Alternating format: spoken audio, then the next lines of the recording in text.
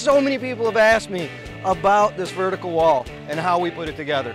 So I made a video just to answer that question. I went back through all the footage that we have and put you together this really cool thing on how we built this vertical wall against my house. So if you want to know all about that, stick around for the next dozen or so minutes. And if you don't, go bake some cookies or whatever you do. I'm John Adams with Modern Design Aquascaping and our team builds world-class ponds, fountains, and waterfalls out of natural stone and wood. And today, it is my pleasure to share with you exactly how we built this really cool thing right here. I'm gonna go swim with her. You watch the rest of the video. So there's a French drain where the form is gonna go, where we're pouring this footer. We put a French drain under the pond, which runs out below. Then there's rock pad, then there's liner, then there's rock pad again. We were very cautious. We decided to build this form for our footer out of treated plywood and treated 2x4 so that we could use it for a bridge in the future on job sites. So that's why you see Hunter and Aiden putting this thing together like they're building the Taj Mahal because they wanted to make something that would hold a man in a wheelbarrow later.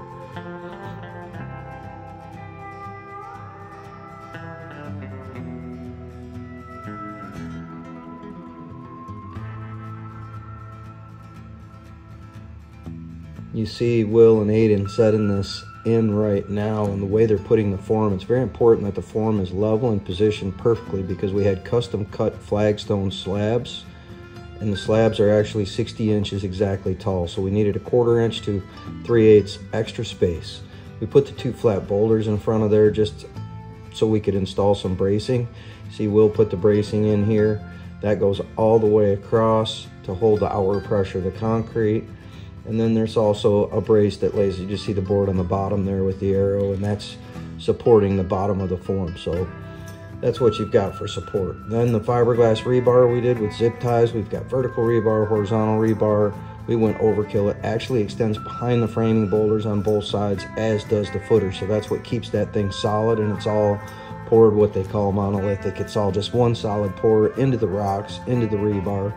It's amazing and strong, and basically the whole entire pond has to cave in in order for that footer to come down. We put the concrete mixer in and we set that down on another piece of rock pad with an extra piece of scrap liner on top to keep the mess down to a minimum. It was a great idea. We made it almost all the way to the finish line before we broke the pull cord. Apparently, uh, the pull cord was dry rotted, so you're going to see the team hand mixing the last bit of the concrete in here, but it went pretty easy. Many hands makes for light work.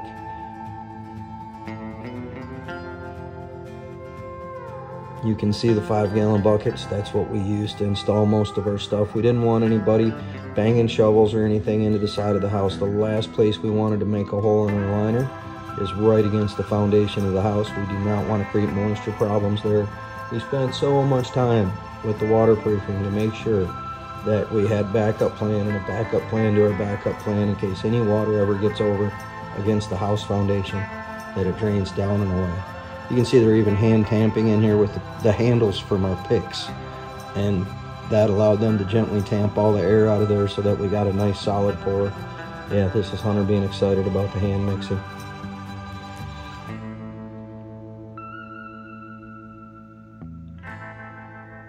It went pretty easy. You know, these rebars that I put in at the end are because we're going to pour a curb later. You'll see the curb go in. That's actually what holds the flagstones from falling over. And so those fiberglass rebars are to hold the curb down so that it can't just fall off the top of the other one and separate.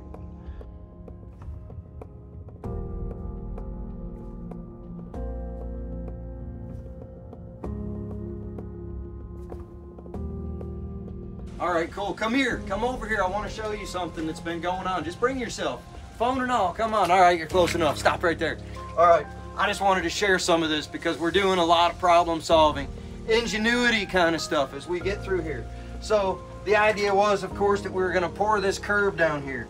Gravity's going to hold this thing standing straight up and down. That's going to hold our liner. We're going to do a bit of a silicone seal. I did not want a piece of metal trim or anything showing up here. So we're like trying to figure out how do we do this, but we got some liner folds back here. We got some underlayment. We got some rock pad.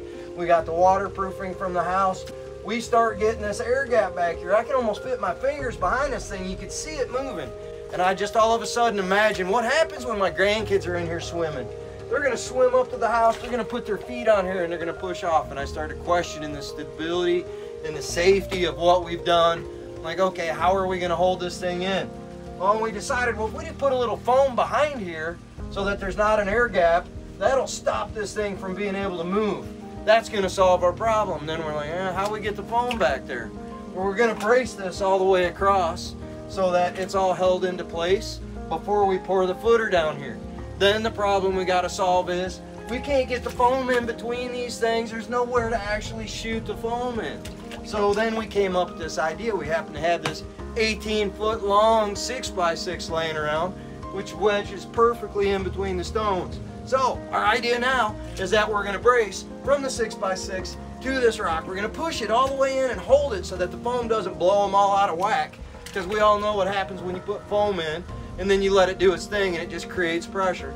So then these are all uneven. So we're gonna brace this thing across here with all those random boards and piles of junk that we got. We're gonna shoot the foam on the in-between. We're gonna go eat some Mexican food and when we come back, everything's gonna be perfect. Raise the light, shine down from the sky. Ah, the angels sing, I'm out.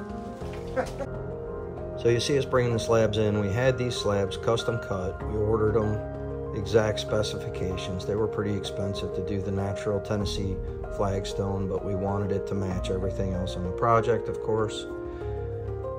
It went pretty flawlessly, just a lot of detail work, super slow and meticulous, being careful with the stone. Um, yeah, and our boulders you see us taking out, they were just a little too short for the bracing, for the form on the curb. And you'll see the team putting that in here pretty soon, but the idea of shooting the foam back in behind those slabs worked really well. It solved all our problems. They were very stable, pushing on the top. We didn't have any movement left in them. They're literally just freestanding behind the curb when we get done and the silicone bead across the top. Everything is honky-dory. You can see the bracing across the bottom they used to hold it and get everything perfectly level with each other it just turned out fantastic. I mean, it's all within a quarter inch tolerance probably. There's a little bit of movement here and there. Yeah, we had to put in the taller boulders so that we could do the bracing on this curb, but the curb was a pretty elaborate creation. Putting that in, and Hunter's form, obviously is very basic form that they're putting together here that just screws down to the top of the other form. But we have a lot going in behind there. The plumbing runs in from that left side over where Hunter's at for the jets. The jets go through the form. There's conduit that comes in both sides that leads to these two light fixtures. You see us cutting out the uh, pipes for the light fixtures, so that's poured into the form, and those sleeves run all the way up to the top of the pond. So all of our conduit and our lighting and our jets is all recessed into this curb, hidden in the concrete. It looks very clean, very professional at the end of the project. You'll notice that there's really not much there to look at, which was the idea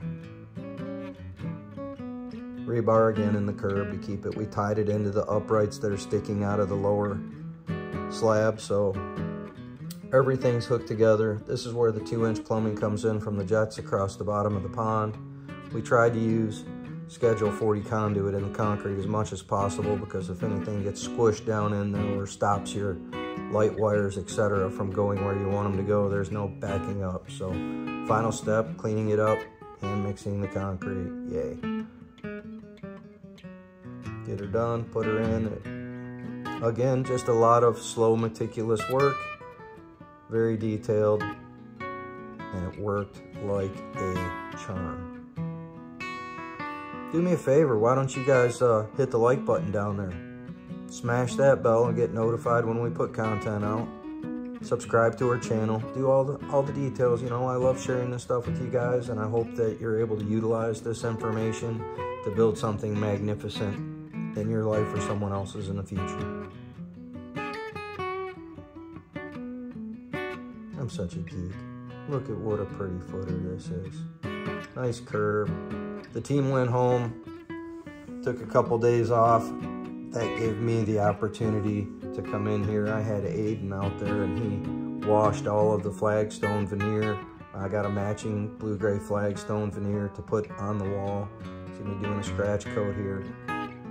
He got everything nice cleaned up, washed all the sediment off of it for me. And then while everybody was gone, I took that opportunity for a couple days to get the scratch coat on, get the flagstone laid in, everything finished up and detailed and ready for the project to move on.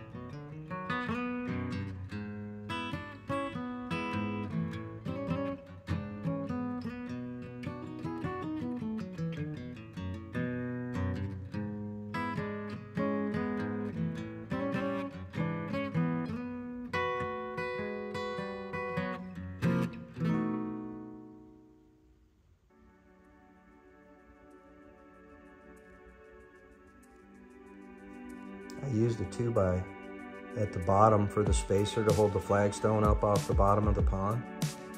And what I ended up doing with that space down on the bottom is I have a piece of soaker hose that runs across through there hooked to aeration. So if I want to hook my aerator up, I have a nice bubble curtain that runs up that wall.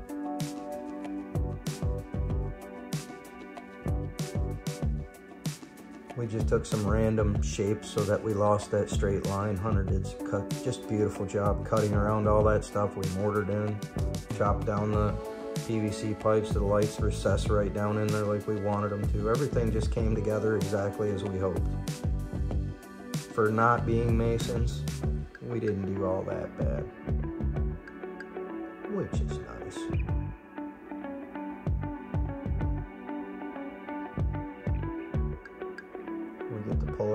Wires through for our lighting. Always we use conduits, whether we're going through con concrete slabs or not, we always use conduits and pull our light wires in like that because it's just simple. We started using these jets like they use in fish tanks and the things are just solid and you would not believe what a difference it makes in a great big pond when you can use flow adjustments and angle adjustments to steer the currents to push debris where you want it to go. Absolutely incredible. that was the beautiful job that we had when we got done. A whole lot of work for something to really just disappear, but dun dun dun. What do you think, guys? Let me know, seriously. Any questions you have?